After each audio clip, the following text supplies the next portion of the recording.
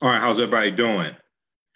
Hotep. Hey, this is Michael Imhotep, founder of the African History Network, host of the African History Network show. I'm a talk show host, researcher, lecturer, and writer. It is Friday, February 15th, 2019, and we are live. It's halfway through African American History Month. This month is going by very quickly. Uh, I've been doing a number of presentations. Uh, I'm speaking in three locations this Saturday, February 16th. I was speaking at a church in Inkster, Michigan, uh, Thursday, February 14th. Uh, it's been very busy. Okay, I'll be on 9 10 a.m. Superstation tonight, uh, this evening, 7 p.m. to 9 p.m. on uh, Lavonia Perryman's radio show, 9 10 a.m. The Superstation will broadcast here on Facebook Live. So it, has been a, a, few days, it's been a while since I've been able to broadcast live like this uh, outside of the African History Network show Sunday night. So, how's everybody doing? I wanted to talk about a few things. I wanted to talk about this uh, breaking news story dealing with Colin Kaepernick. Okay. And you know, I've been covering the Colin Kaepernick story a lot. You see me with my Colin Kaepernick shirt on. I'm not going to stand for a flag that oppresses uh, Black people. And is in the full quote is actually, I'm not going to stand for a flag that oppresses Black people and people of color. That's the full quote. Okay. Well, there's a story that broke um, this afternoon dealing with his collusion case against the NFL. Okay. So we know he's been blackballed uh, unofficially from the NFL, but you have a lot of other uh, third, third string, fourth string quarterbacks that have been hired by teams, and Kaepernick still hasn't been hired. So he filed a collusion case uh, against the NFL, and so did Eric Reid. Now, Eric Reid was the second player in the NFL to take a knee. Okay, and Eric Reid was uh, Colin Kaepernick's former teammate on the San Francisco 49ers. And at first, Colin Kaepernick was uh, sitting on the bench, right? But it was a former NFL player and former uh, Green Beret Nate Boyer who gave them the idea of taking a knee because taking a knee comes from the military.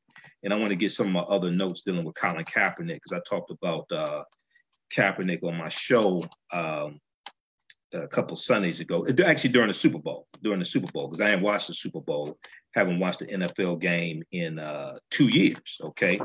All right. So um, it was Nate Boyer who gave them the idea of taking a knee because taking a knee comes from the military and it's a sign of respect.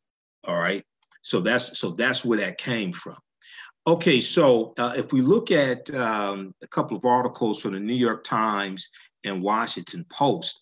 Um, the New York Times has an article NFL and Colin Kaepernick settle collusion case. NFL and Colin Kaepernick settle collusion case. Eric Reid got a settlement in his collusion case today also. So, uh, and everybody share this broadcast on your Facebook page. Invite your friends to tune in. African American business owners, post the name of your business here on the thread of the broadcast. We'll let you know how you can advertise with us. Okay. All right. So the NFL and Colin Kaepernick uh, the former San Francisco 49ers quarterback, who ignited a protest movement against racism and police brutality by kneeling on the sideline during the playing of the national anthem at games, has settled a case that accused the league of colluding to keep him off a team.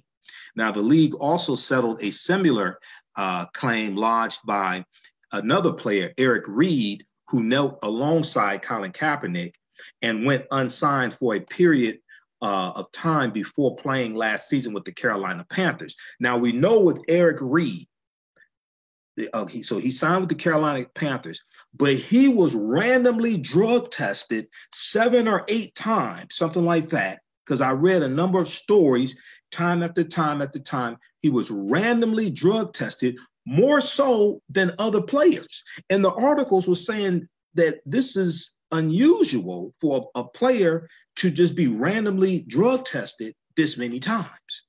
So a lot of people think that was a way for the league to get back at Eric Reid, right, for protesting uh, during the national anthem uh, against police brutality, the oppression of people of color, especially African Americans, uh, protesting against racism, things like this. Okay.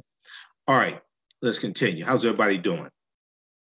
All right, so uh, the terms of the settlements were not disclosed. The terms of the settlements with Eric Reid or Colin Kaepernick have not been disclosed. Now, Colin Kaepernick's lawyer, Mark Geragos, issued a similar statement saying, for the past several months, uh, counsel for Mr. Kaepernick and Mr. Reid have engaged in an ongoing dialogue with representatives of the NFL. As a result of those discussions, the parties have decided to resolve the pending grievances. The resolution of this matter is subject to a confidentiality agreement, so there will be no further comment by any party. Okay. Now, my question is Is Colin Kaepernick going to get hired by a team now? Eric Reid is back in the league. Okay. You settled the collusion uh, there's a there's a settlement in his collusion lawsuit. All right. I doubt if the league was settled if he really didn't have a case because he had a strong case against the league. Okay. So are they is, is Kaepernick going to play now? They, is he going to is he going to be offered a job? Now Kaepernick has not played in the NFL since the 2016 season. He filed grievances under the league's collective bargaining agreement in October 2017, and his lawyers have been busy gathering evidence and testimony from NFL owners. Kaepernick began his protest in August 2016 uh, after several African American men were shot by police officers. A number of players across the NFL joined him in kneeling during the national anthem, generating a debate over race and player activism, drawing angry tweets from Donald Trump uh, and flummoxing the league over how to respond. Now, keep in mind, Trump says that we should stand for the national anthem. We should salute the flag. But when he had an opportunity to go serve in Vietnam and protect the flag that he says we should stand and salute, he got five deferments because he was too much of a coward to go fight in Vietnam. Not only that, Donald Trump said that his Vietnam was avoiding getting STDs in the 1970s. That's what he said. Go research that. He said his Vietnam was avoiding getting STDs in the 1970s. Okay. So when you have Trump, right, who to me is the first Russian president of the United States, okay, and is is a Russian asset to me. And the, the evidence is going to show this to you also. When you have him uh, uh, who, who calls uh, African American NFL players taking a knee to protest against police brutality and, and racism and things like this. He calls them SOBs. Okay. He insults their mothers, he attacks them, calls them SOBs, right? When you have uh, somebody like this, somebody like Trump doing this, you can't really even take them seriously because you see that he's lying. Not only that, uh, if you've seen any of my presentations dealing with the history of the national anthem, I call it the white national anthem. There's a reason why I call it the white national anthem, because it was written by Francis Scott Key, who was a white supremacist slave owner. He wrote it September 13th, 1814, during the War of 1812. So a lot of people point to the third stanza, which says "No refuge for the hireling or the slave." It's not the third stanza; it's the entire song. The entire song is a white supremacist song. Okay. So there needs to be a new national anthem in America. If you want, if you want the, if you wanted to really be a national anthem, and if you wanted to represent all of the people of America, it has to be a new national anthem. Now, African Americans know that we have our own national anthem. It's called the Black the Black National Anthem, called "Lift Every Voice and Sing," written by James Weldon Johnson. We created the Black National Anthem because we knew the white national anthem was not for us. So this is why understanding our history, and this is why we need to teach this history, especially during African American History Month. I've been doing a number of presentations, and a lot of my presentations I've been doing have been at African American churches. Okay. So um, everybody share this broadcast on your Facebook page. We're going to go to the article from the Washington Post just uh, just a minute here. Um, and I want, everybody, I want to let everybody know um, those in the Detroit area, I'm doing three presentations Saturday, February 16, 2019. I'm at Nandi's Knowledge Cafe, 71 Oakman Avenue in Highland Park, Michigan, um, 2 p.m. to 6 p.m., doing a double presentation dealing with uh, the history of how Black jockeys, African American jockeys, how they dominated horse racing.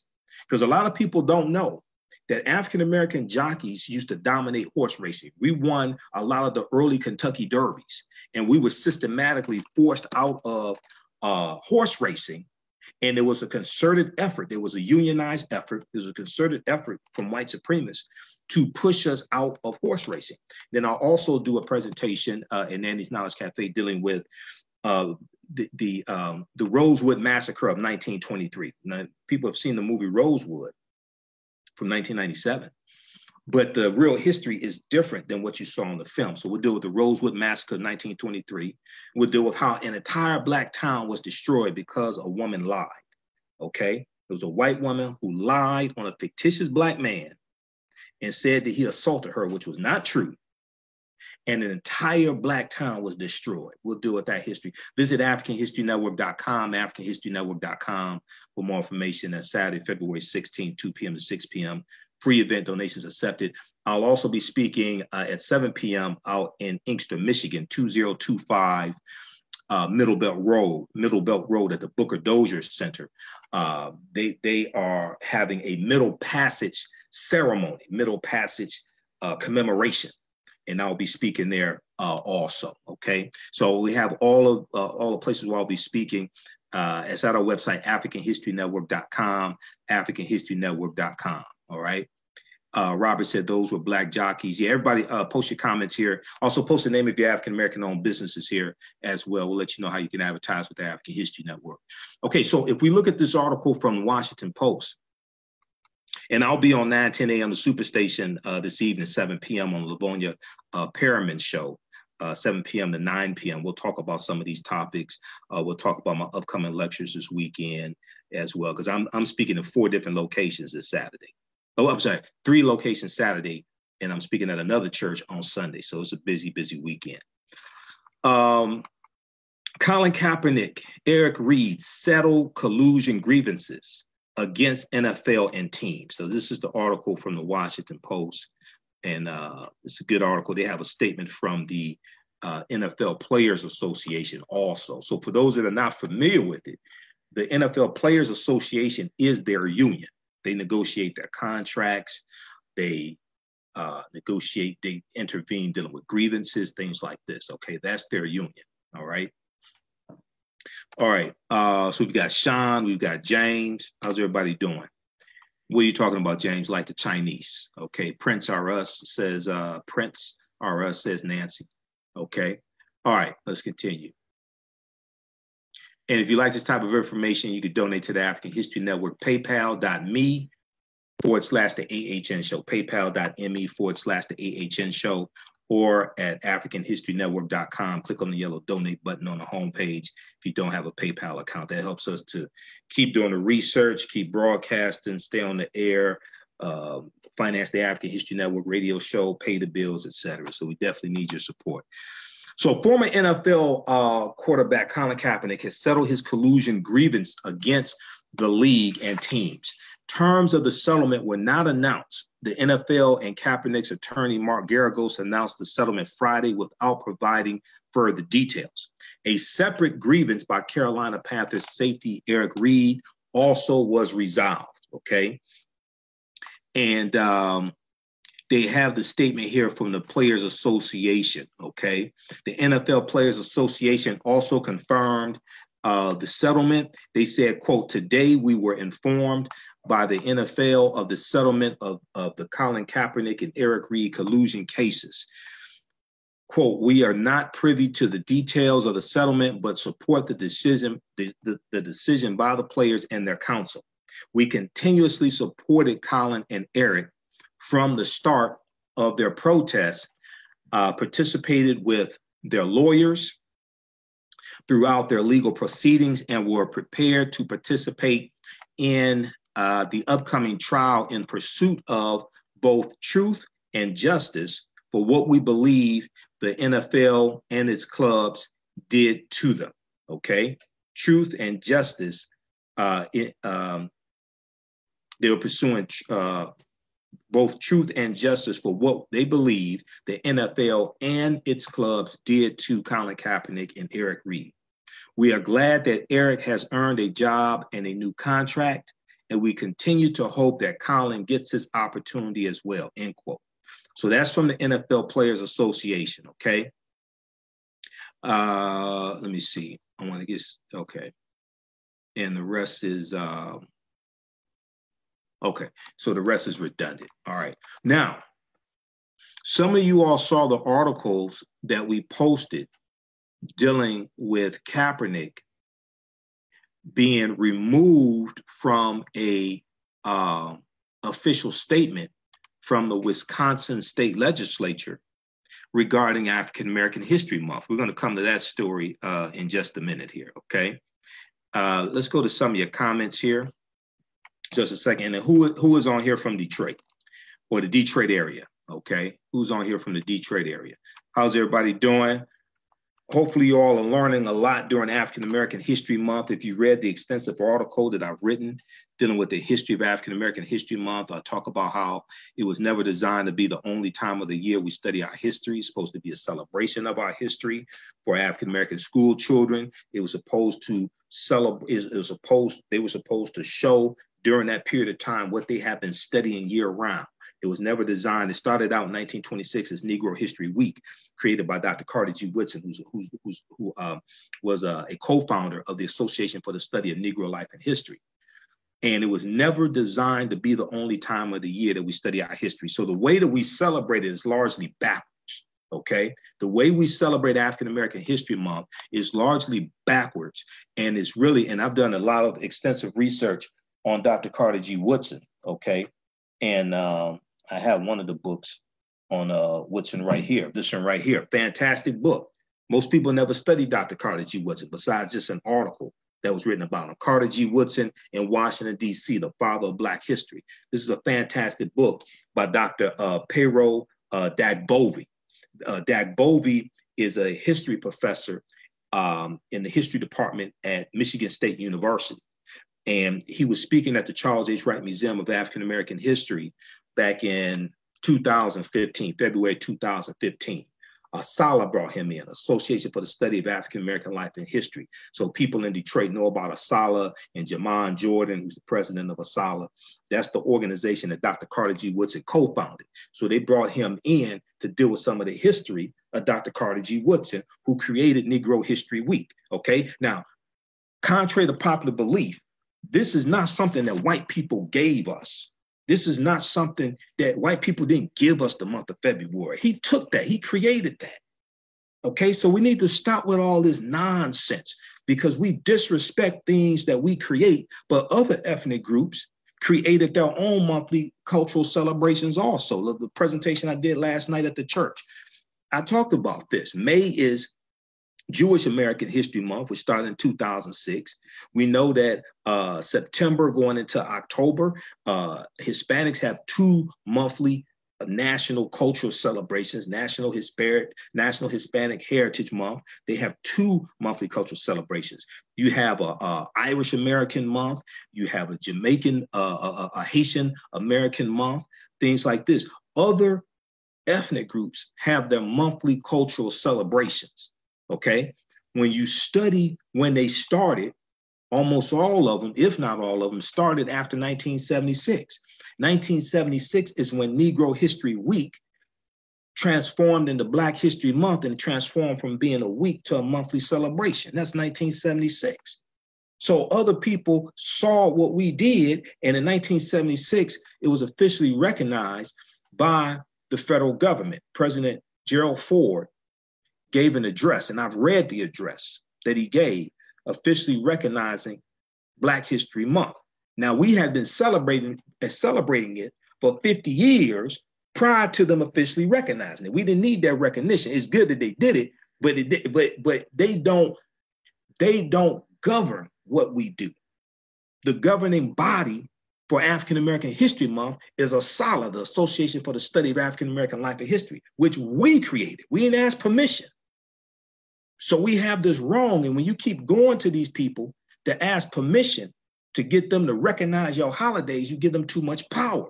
This is the problem with Dr. King Day. I'm all for Dr. King Day, but we should have never gone to the federal government to ask permission to have a national holiday for Dr. King. If you want one, just take one. Don't ask permission. It's the federal government that killed him. Why are you going them? Why are you going to the government to ask for a federal holiday for Dr. King? Take one. We celebrate Malcolm X's birthday, May 19th. We don't go to the government to ask permission to celebrate Malcolm X's uh, birthday. We don't go to the government and ask for a federal holiday for Malcolm. We celebrate Malcolm's birthday. We celebrate Marcus Garvey's birthday, August 17th. We don't ask permission from the government to do that. We don't ask for a national holiday for Marcus Garvey when it was the government that set Garvey up in the first place. Come on. Stop asking permission for these things. This is why when we study Dr. Carter G. Woodson, he ain't asked permission, he created it. That's self-determination. Self-determination is not just supposed to be talked about and practiced during Kwanzaa. Second principle, Kuji, Kujichagulia, second principle, then Nguzo Saba. That's supposed to be practiced and emulated and discussed year round. So we so it's too late in the game to be playing these games like this. How's everybody doing? Share this broadcast on your Facebook page. Invite your friends to tune in also, okay? And visit our website, AfricanHistoryNetwork.com, AfricanHistoryNetwork.com. You can see where I will be speaking uh, this weekend in uh, the Detroit area. I'm at Nandi's Knowledge Cafe on Saturday, February 16th. I'm at the Booker Dozier Center in Inkster, Michigan. Uh, I'm there at 7 p.m. on Saturday. I'm at a church breakfast. I'm at a prayer breakfast because I get, I mean, this month I've been uh, invited to speak at a lot of churches, a lot of Black churches, right? African American churches. So I'm at, um, I want to give them credit here because they asked me to speak. I'll pull this up. I'm at a prayer breakfast from 9 a.m. to 11 a.m. Saturday morning, February 16th. Then I got to get ready. I have to head over to Nandi's Knowledge Cafe because my presentation is there from 2 to 6. Then I have to leave there and drive out to Inkster, Michigan for the Middle Passage Memorial where I'll be speaking also. Okay. And then I'm speaking at another church on uh on Sunday. So the prayer breakfast where I'm speaking uh on Saturday, the event is 9 a.m. to 11 uh, a.m. They have me speaking there for a few minutes. Uh Gethsemane Missionary Baptist Church, okay, it's located. Do they have the address on here? Uh oh damn, they don't have the address on here. Okay. Um, I'll give it to you. And uh, the um, on the on the website, they have. Uh, I'll pull it up here. Um, the city of Inkster, Michigan, is doing something fantastic. Now, if you know anything about Malcolm X, you know when Malcolm was paroled in August of 1952, Malcolm went to live in Inkster, Michigan. Inkster is a suburb of Detroit. It's a black suburb of Detroit because um, his his brother lived there in in, in uh, Inkster. Okay, I think it was Philbert. Uh, think it was Philbert that lived there, I think. Uh, so from 52 to 64, he had residence there. Now we know he was in Harlem, things like this, right? But he had some type of residence there from uh, 1952 to 64, okay? And there's an effort to turn that house that Malcolm lived in in Inkster, Michigan, into to preserve it and turn it into a historical site. If, if it's not if it's not already a historical site, I, I saw an article about that from last year. All right. Um, Gethsemane, where is that here? All right. Well, you go to our website. You just just, just Google it. I'm looking here, and uh, yeah, they don't they don't have the uh, address there, so it's in Inkster, Michigan. Just Google it, uh, or use uh, Google Maps. Okay, let, um, let's continue here. Let's go to some of your comments. Okay, Jay Butler said, much respect for you speaking in the churches because we need to hear the history of Africa. Absolutely. They definitely need it in the churches also, right? And they've been inviting me to speak. I've gotten uh, from some of the, so, so, so the city of Inkster, Michigan, their city government, they, they have organized 28 days of events for African American History Month. They have something each day and they've worked with the churches and what they're doing. If you go to our website, AfricanHistoryNetwork.com, we have a flyer there. One of the things they're doing is they're showing the documentary um, from PBS and Dr. Henry Louis Gates Jr., Many Rivers to Cross, the African Americans, Many Rivers to Cross, okay? And it's in six parts, okay? It's a six part documentary. So they're showing it in six different churches. Uh, each, uh, each installment is being shown at a different church there's a discussion afterwards. So I'm leading the discussion. So I'm recording these presentations I'm doing and these discussions, we put, I put them on YouTube, our YouTube channel. We put them here on our Facebook fan page, the African History Network. Follow me on my YouTube channel, Michael Imhotep, I M H O T E P, because uh, this morning I just uploaded the um, discussion dealing with part three of Many Rivers to Cross. I just, and we just did that uh, February 12th, I think it was, February 12th, yeah. Because last night we did part four so I have to upload that hopefully sometime this weekend. It's going to be a busy weekend. All right. Um, and then also we'll let you know how you can uh, register for the online courses that I teach and order our DVD lectures because this helps to finance the African History Network and helps to keep us afloat, okay, and keep doing the research. All right. Uh, let's go to some of your comments here. Okay, James, churches are clueless sometimes. But see, the, the, the, the thing is, is that a lot of them want to learn. Uh, a lot of them, the churches that I've spoken in, a lot of them want to learn. Some of them may not know the information, but they want to learn. And we can't become, we cannot become so conscious that we become unconscious to the fact that everyone is not as conscious as we are. So we have to be willing to teach. Many of them want to learn. We just have to teach it to them the proper way. Okay. All right.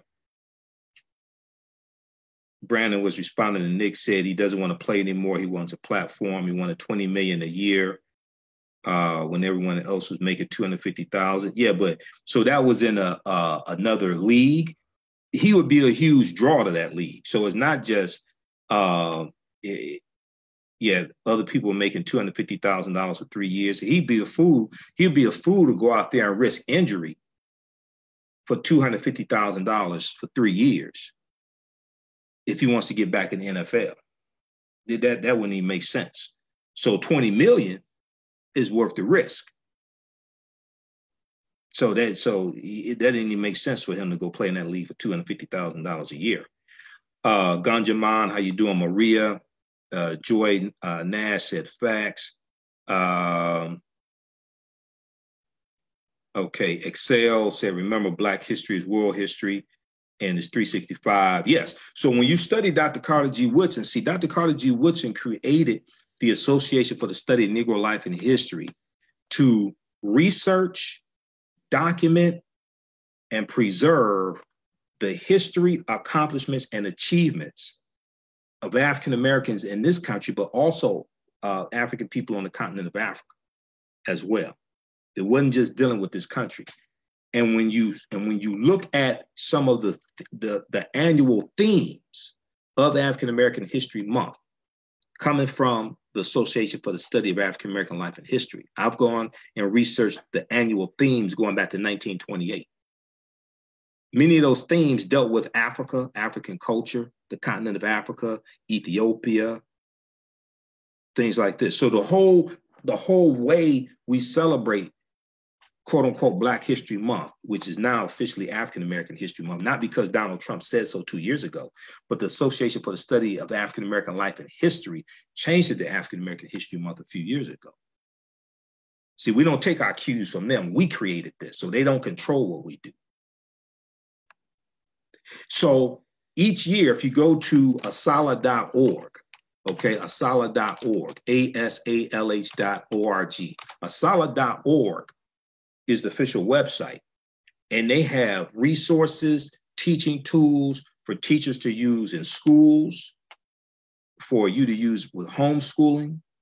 And there's an annual theme. So this year's theme of African American History Month is Black migrations, Black migrations, because August 20th, 1619 and August 20th, 2019 is the 400th year anniversary of those 20 and odd Africans coming into Jamestown, Virginia. Now, this is not the first time that African people in this land. We've been here going back at least 51,700 years ago. And if you read The First Americans Were Africans, documented evidence by Dr. David Imhotep, you know this. You know that's not when we first came into this land. That's, that may have been when they first came into Jamestown, Virginia. And even at that point in time, when they come into Jamestown, Virginia in 1619, slavery, what we call slavery, doesn't even exist in those British colonies. Massachusetts, Delaware, uh, James, uh, Virginia.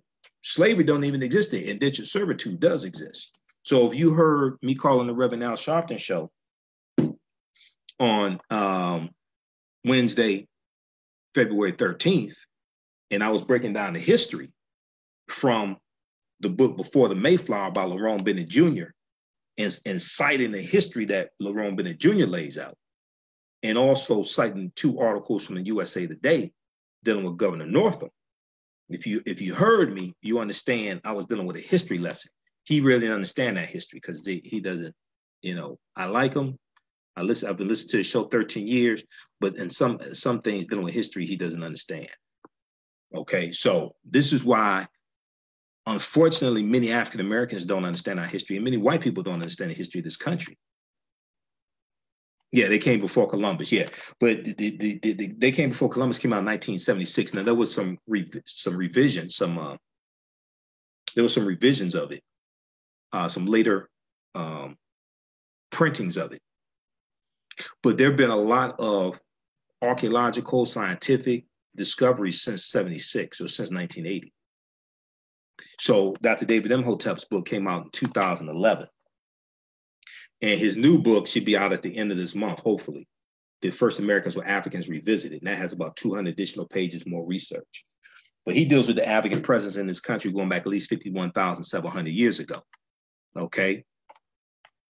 The Moors were here before Jamestown, Virginia, yes, but the Khoisan were here before the Moors were here the Khoisan, the Khoisan have the oldest DNA on the planet. They come from Southern Africa. They're the ancestors to the Ainu and the Twa. The Twa are derisively and negatively called pygmies in uh, European anthropology, etc. So before the Moors, and I'm familiar with the Moors and the Moors going into Europe in 711 AD, Spain and Portugal, which was called the Iberian Peninsula there, and the uh, three Moorish dynasties, the Almohad, the Almoravid, and the Umayyad dynasties. But before there was anything called Moors, you had the Khoisan, who were, who were here in this land. And they're building pyramid mounds up and down the Mississippi River, what we call the Mississippi River. Uh, so, and they go all around the world. Okay, um, okay, Maria's in Las Vegas. Okay. Jason said, I celebrate Black History 12 months a year. Right. Steph said, I'm going to look for that book. Okay, Sharisa. All right, African American business owners, post the name of your business here on the thread of the broadcast also.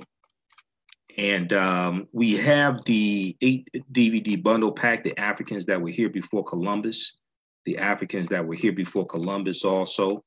Okay. Uh, you can order that from our website, AfricanHistoryNetwork.com. It's on sale this weekend. Uh, it's on sale $50. I think it's regularly 100 and something. The Africans that were here before Columbus. It includes a um, double lecture I've done with Dr. David Imhotep, who wrote the book, The First Americans Were Africans Documented Evidence. It includes a lecture from um, Dr. Ivan Van Sertima. Uh, they came before Columbus, one from Dr. John Henrik Clarke, dealing with um, uh, Christopher Columbus and the African Holocaust, uh, slavery and the rise of European capitalism, and uh, some uh, some other DVDs in there also. Okay, so that's the Africans that were here before Columbus. So we just posted that link. is also at AfricanHistoryNetwork.com, AfricanHistoryNetwork.com. All right. So some of you all saw the article that we posted dealing with Colin Kaepernick and the Wisconsin state legislature. Okay. And um, you can still uh, post the name of your businesses here, African American business owners. All right. Um, it's entitled, so NBCnews.com had an article about this and other publications as well. Wisconsin GOP spikes Colin Kaepernick's name from Black History Month resolution. Wisconsin GOP spikes Colin Kaepernick's name from Black History Month resolution. The Republican lawmakers move to bench the quarterback from the resolution is a textbook example of white privilege said State Representative David Crowley. Okay. So here's what happened. And this article is from February 13th, 2019. Here's what happened Wisconsin Republicans stripped Colin Kaepernick's name from a resolution recognizing Black History Month. And they said that the former NFL quarterback was quote unquote too controversial to be included, too controversial to be included. Hmm, really? The, slate, the state legislature's Black Caucus drafted the resolution, which named several African American leaders, including the Wisconsin born Colin Kaepernick, who famously kneeled during the national anthem, the white national anthem, while on the San Francisco 49ers to protest system, systemic racism in the United States. And here's a direct quote. So the first article, I've done two lectures dealing with Colin Kaepernick. You see me with my Colin Kaepernick shirt on. You saw during the Super Bowl, February 3rd, when I did my radio show live. I ain't talking about the Super Bowl that was going on. Haven't watched the NFL game in two years. Not going to watch the NFL uh, again until Colin Kaepernick is back in the league or he retires. Okay. But I talked about what was going on with Kaepernick then. All right. And you can watch the broadcast at our uh, Facebook fan page, the African History Networks from February 3rd. is also on our YouTube channel, Michael Imhotep. Right. But the first article written about Colin Kaepernick's protest was from August 27th, 2016. It was from NFL.com. It was written by Steve Wyche. It was called Colin Kaepernick Explains Why He Sat During National Anthem. Colin Kaepernick explains why he sat during National Anthem. This was the first article written about the protest.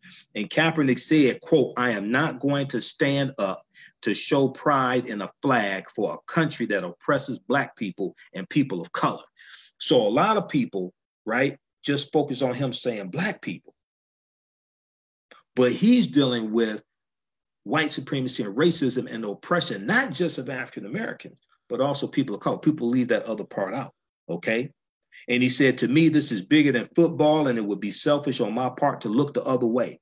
There are bodies in the street and people getting paid leave and getting away with murder. So he's sacrificing his career, he's sacrificing economic gain because he had um, endorsements like with Beats Audio at this time.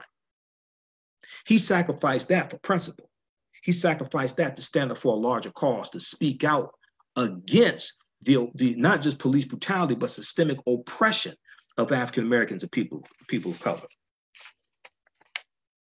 And he, he went on to say that now this is what people miss, right?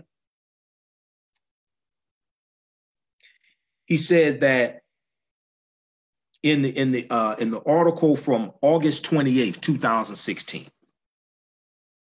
DailyMail.co.uk had an article. Defiant 49er quarterback Colin Kaepernick faces mounting anger as he insists he will continue to sit for the national anthem. Read that article. Other articles have this quote in it that I'm about to share with you also. Other articles have this quote uh, in it as well that I'm about to share with you. Okay. This is a very, very important quote. Defiant 49er quarterback Colin Kaepernick faces mounting anger as he insists he will continue to sit for the national anthem at NFL games in protest at the oppression of Black people. Okay. He said, quote, I'm going to continue to stand with the people that are being oppressed. Okay. He said, To me, this is something that has to change.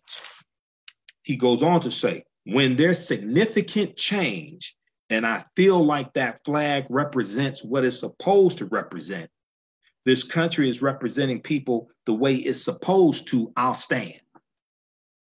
So when people attack his protest, they never cite that quote from him. He's saying, wait a second, when the conditions change, when the conditions of systemic racism, and police brutality change in this country, I'll stand for the flag. So instead of the detractors who want to attack him, like this Wisconsin state legislature of Republicans, instead of them saying, wait a second, how can we work to change the systemic racism that he's protesting against? They just want to silence him, blackball him, tell him to shut up, tell him to shut up, call him SOBs, things like this. They never want to address the, the systemic racism, the white supremacy and racism. They never want to address the conditions that he's protesting against.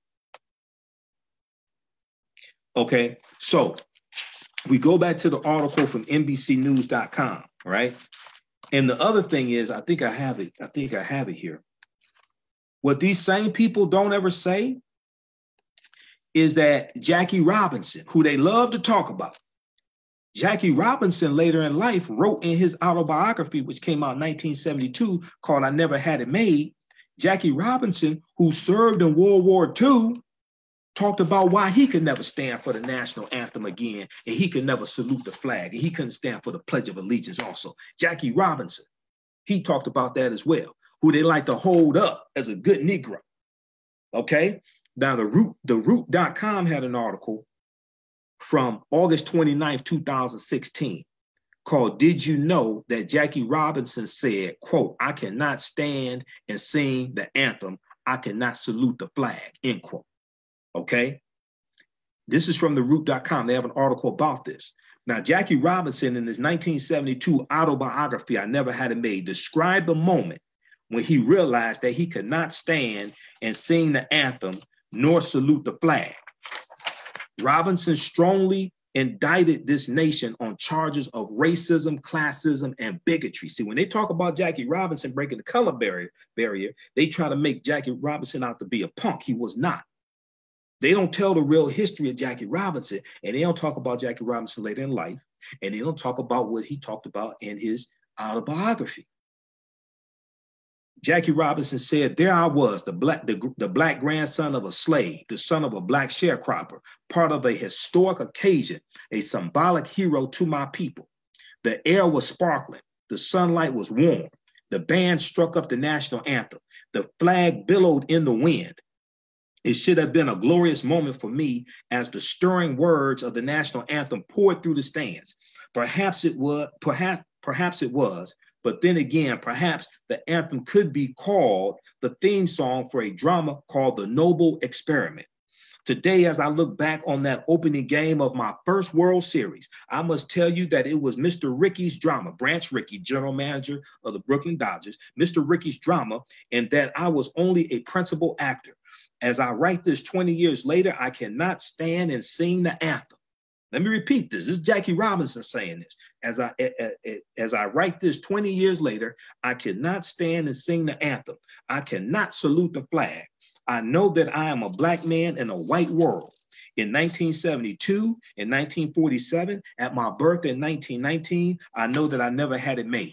Now, this is a brother who served in World War II. And, and he's saying this. Okay, but they but they want to attack Kaepernick for taking the knee during the national anthem, but don't say anything about Jackie Robinson, saying that he can't stand for the national anthem anymore. He can't salute the flag. So if we go and look at what happened in Wisconsin, so the state legislatures uh, of, the, of the Black Caucus there in Wisconsin drafted the, the, the Black History Month, African American History Month resolution, which named several African American leaders, okay, including the Wisconsin born Colin Kaepernick. Now, Kaepernick, Kaepernick's inclusion drew the ire of the Wisconsin Republicans, who amended the resolution taking out his name. Okay, they amended the resolution taking out his name. Assembly Majority Leader Jim Steineke, S T E I N E K E, who was white, said Tuesday that Kaepernick's name was too controversial. Oh, he's a scary black man with an afro or cornrows. He's a scary black man his, his having his just just the just the sight of his name in there is too controversial and had to go quote for obvious reasons. This is what he said. He said that kaepernick's name was too controversial and had to go for obvious name. Um do you teach do you teach these same children about george washington? George washington was a white supremacist slave owner. You teach them about thomas jefferson is Thomas Jefferson too controversial? Thomas Jefferson was uh, having sexual relations with one of his slaves named Sally Hemings. Thomas Jefferson had a number of children by her. Thomas Jefferson was a white supremacist slave owner who thought that African people were mentally inferior, who thought that they couldn't feel sorrow. So, um, how is it you teach them about that? And that's okay, but there's a problem with Colin Kaepernick in a resolution during quote unquote Black History Month. How was that? So, Assembly Majority Leader uh, Jim Steineke, he said that Kaepernick's, Kaepernick's name was too controversial and had to go for obvious reasons.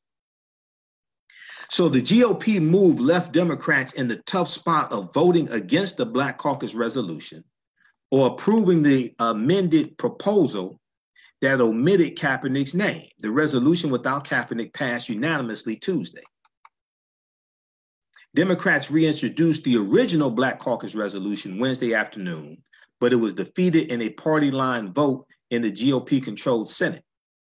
Then, in another party line vote, the Senate passed a Kaepernick less, a Kaepernick less Black History Month resolution, meaning uh, a resolution without Kaepernick's name in it. Now, Senator Lena, Lena Taylor, Democrat from Milwaukee, I've talked to this. This, this is kind of this is, this is a bad sister, Lena Taylor. I'm just I'm just gonna say it. She said, doing what is right takes courage. Colin Kaepernick showed courage. Okay. She said this from the uh, state Senate floor. Okay. She's African American. Okay. Um, now, Senate Senator, State Senator uh, John Erpenbach, Erpenbach, Democrat from Middleton, uh, there in Wisconsin, joked that he personally dislikes Colin Kaepernick because the quarterback played spectacularly in a 2013 playoff victory over the Green Bay Packers. The lawmaker excoriated his Republican colleagues for targeting Kaepernick. He said, quote, there, there, there's never been a selective editing of a resolution that I can remember. We're telling African Americans again what you can do and can't do. Exactly. But the problem is why we need a resolution from these people in the first place. Now I understand the Black Caucus put together a resolution. They probably did the right thing. But we don't need we don't need these we don't need the white Republicans to validate anything. Now, Kaepernick, who's 31, was born in uh, Milwaukee, Wisconsin, to a single mother and adopted to a white family, which moved to California, where he excelled in baseball and football. Okay. All right. So you can check out the rest of this also. We'll post this article. This is from uh, uh, NBCNews.com from February 13, 2019. Wisconsin GOP spikes Colin Kaepernick's name from Black History Month resolution. Okay. My thing is stop giving them stop giving them the opportunity to tell you no. Don't go ask them. Don't don't go ask them to recognize Black History Month. Don't do that. Okay, we don't need their permission. We don't need their recognition. Okay, and oftentimes when they recognize it, they water it down and they just deal with personalities. That's not what African American History Month was about. It wasn't just it wasn't just about personalities. It's about understanding movements and migrations of African Americans in the in, in the country, accomplishments, accomplishments and achievements. The accomplishments are not defined by, by African Americans who invented things to make white people's lives easier. That's that's not the purpose. The, the purpose of it is not just to talk about the first black person to do this in the white people's world, the first black person to do that. Yes, we want to. Uh, yes, we want to deal with that history. But oftentimes, a lot of African American month celebrations I see get watered down to the first Black person to do this in a white people's company or in their organization or to hold this position. I'm not attacking the accomplishment. I'm saying we don't even understand what the hell it is we're celebrating. We don't understand how to celebrate it. Okay. This is this is why we have to uh, read books like this that deal with the history of Dr. Carter G. Woodson. Carter G. Woodson in Washington, D.C., the father of Black history, okay, by uh, Dr. Pero uh, Dagbovie, okay? And I'm gonna post a link to the articles, extensive article that I wrote dealing with the history of African American History Month and dealing with Dr. Carter G. Woodson. Because everywhere I go, you know, I ask people, you know, explain me the history of African American History Month. Besides them saying it started in 1926 as a week. Most of us don't know that history. So why are you celebrating it? If we're going to celebrate something, we need to know the history of what the hell it is we're celebrating. We need to know why we're celebrating it. This is the same thing I talk about with the, the white, the European holidays. Most of us don't understand the history of the European holidays we're celebrating. Why are you celebrating them then? Okay, so we just posted a link to that article. And also you could read all of my articles at our website, AfricanHistoryNetwork.com, AfricanHistoryNetwork.com. Okay, just click on the link, um, read articles by Michael Imhotep.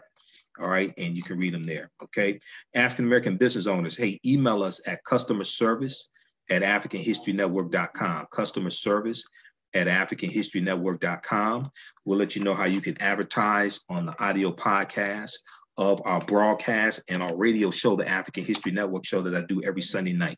We have thousands of listeners across the country to each uh, podcast episode.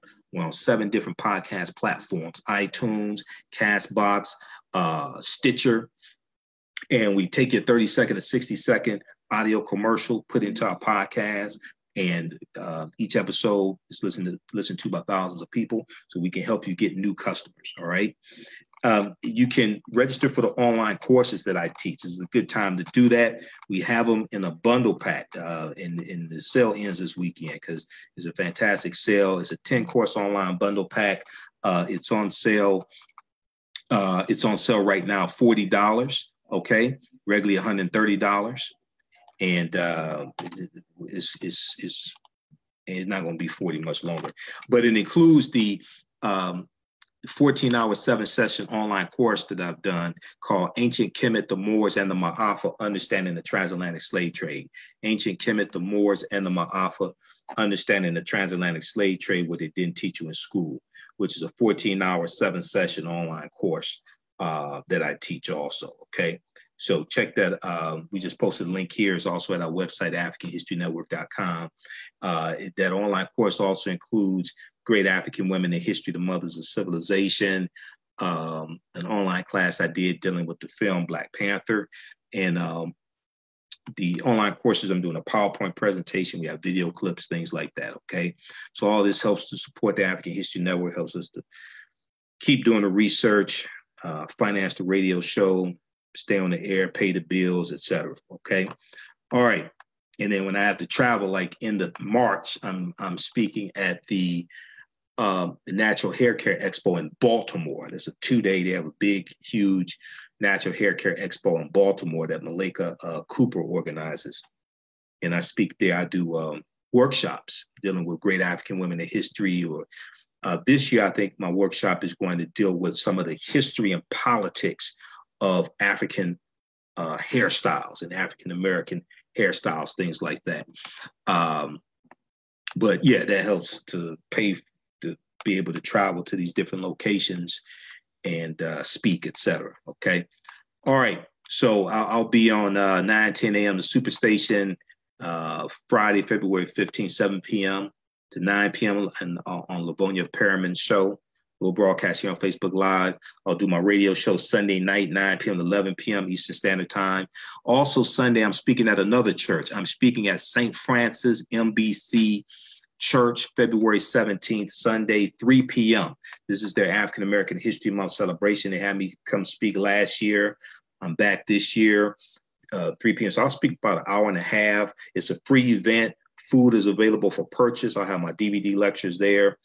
These other events where I'm speaking on Saturday, my DVD lectures, I'll have them also. Uh, St. Francis MBC uh, Church 7021 West Warren Avenue, Detroit, Michigan uh, 7021 West Warren Avenue, De- uh, uh, Detroit, Michigan. Uh, Deacon McConicle set that up for me, along with uh, Reverend Thomas Cheeks, who's the pastor. And we have all this information at our website, AfricanHistoryNetwork.com. Okay, the next showing of um, the, uh, the fifth part of the African Americans Many Rivers to Cross that the city of Inkster, Michigan is doing is taking place on Tuesday, February 18th, 6 p.m. to about 8 p.m., 8:30 at Spring Hill Missionary Baptist Church. Spring Hill Missionary Baptist Church located at 3655 Springfield, Spring Hill Street, 3655 Spring Hill Street, Inkster, Michigan.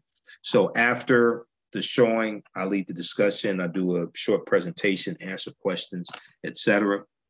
And then the last showing uh, for part six is taking place at New Birth Church, New Birth Church, uh, 27628 Avondale, Street in Inkster, Michigan, Thursday, February 21st. Thursday, February 21st. February 21st was the day Malcolm X was assassinated. So we all know that date, 1965. Okay. All right. Visit AfricanHistoryNetwork.com for more information. I've got to get out of here. You can donate to the African History Network as well, help support us. PayPal.me forward slash the AHN show. If you like this type of information, if you learn from the type of information we provide, uh, especially me, but that I provide, paypal.me forward slash the AHN show. Uh, if you don't have a PayPal account, go to uh, AfricanHistoryNetwork.com, our website, AfricanHistoryNetwork.com. Click on the yellow donate button there. Okay, so you can donate $10, $15, $25, $50, $100. You can also set it up for a recurring monthly donation if you want to. You can set up for a recurring monthly donation. All right. Hey, remember at the African History Network, we focus on educating, empowering, and inspiring people of African descent throughout the diaspora and around the world because right now it's corrects wrong behavior. What you do for yourself, what you do to yourself, and what you allow other people to do to you and get away with is based upon what you think about yourself. Right now it's correct wrong behavior. It's not over till we win. Wakanda forever. We'll talk to you next time. Peace.